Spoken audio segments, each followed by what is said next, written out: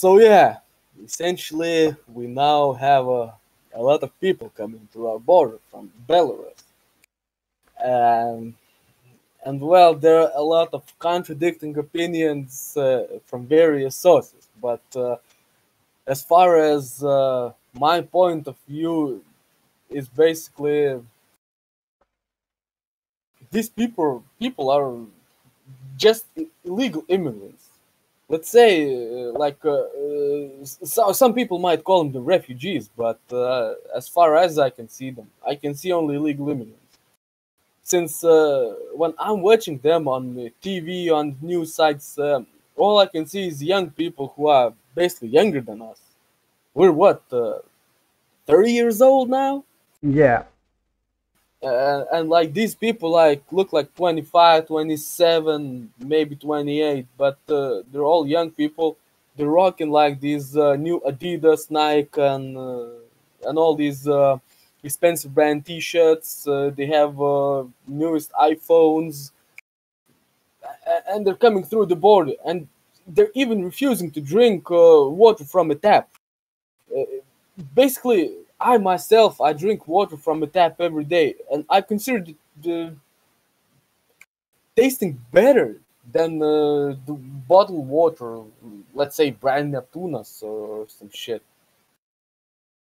This water tastes horrible from from the shop, and uh, I prefer tap water. And these people refuse to drink it. So, what's going on? I don't think it's like a hygienic issue. Like in Turkey, you cannot drink tap water, yes, because it's full of chlorine. But uh, in Lithuania, well, these people didn't even. I- think they didn't even try to drink uh, this tap water. They straight up refused. So what the hell's going on with this?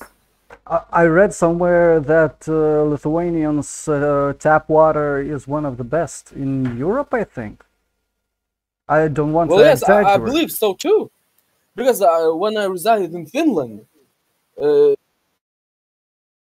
in Finland, like uh, the tap water tasted like plastic. No kidding, actually, it, it was tasting like plastic, but it, it was still drinkable. You could drink it, and and you could relieve your thirst actually with it, and uh, there was no health issues or, or some shit. Uh, It was not like poisonous or something. But they uh, they look like uh, where I saw uh, those pictures. Uh, they look like economic uh, refugees, not uh, refu- uh, refugees running from war. And uh, You mean economic migrants? yeah, Yes. yeah, th- uh, yeah, yeah. I mean that. Uh, and uh, they don't look like Belarusians. They more look like from Muslim countries. Blacks, like uh, Belarusian from Iraqi. Well, I've never met one in my life. Actually, to tell you the truth, uh, each day I, uh, when I come from work, at the first intersection, uh, usually I have to wait quite a long time. Uh, well, you know, light turns red, turns green, but the row is like I don't know, like I have to wait like five or six or seven lights to basically come through and and there's a house on the corner and there's one black little dude living in there. And i'm pretty sure he speaks better lithuanian than most of vilnius's youth.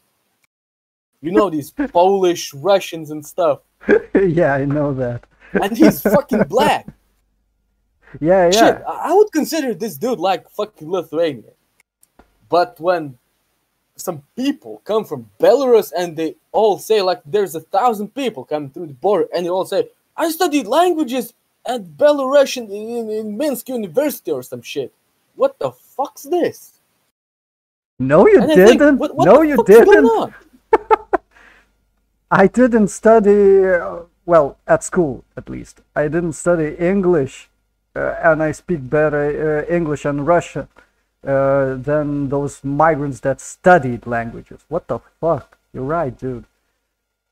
Well, from the media, I've heard that uh, there are some leaders of these people, uh, these economic migrants in these camps, and uh, from what the media has been telling us, uh, they speak pretty good Russian actually. And uh, how come these people are not different from little green men from Crimea or some shit? I don't fucking understand this. There's there's something wrong with this situation. Exactly.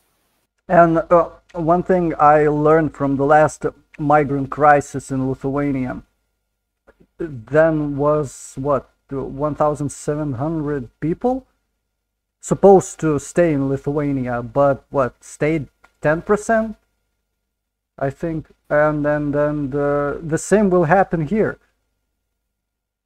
because Lithuania is a fucking dirt poor country. Exactly. This is a poor country, and I believe even less than ten percent. No one will stay here. But uh, let's say from a local's perspective, how does it look like uh, from our perspective, looking at these uh, illegal immigrants, like Lithuania? Uh, let's say. I read that they are building uh, camps for these refugees from yeah yeah they're, they're building camps, government actually. money from government money. What the fuck? In fact i, I read actually like uh, they want to distribute these migrants yeah yeah. the whole country. And well I, I call this actually bullshit. Like everyone's trying to get them off of their heads but uh, for a fact we don't know nothing. There was uh, one article that people were complaining because they knew from a people who they knew in the government and they were told that uh, these migrants uh, were going to well uh, be relocated into their well barrack or how should i call it? Government uh, governmental Basically, buildings. government owns two floors uh, of this uh, building full of flats I, I read so uh, I read in Lithuanian newspaper that uh, they're looking into uh, some uh, old schools, some old uh, uh, penthouses that are uh, that nobody uses, and uh, give them to They're- refugees, they're- even in our town. they're resided in What? all of these schools Yeah, yeah. currently because there's no places in the migrant center at the border guard posts nothing.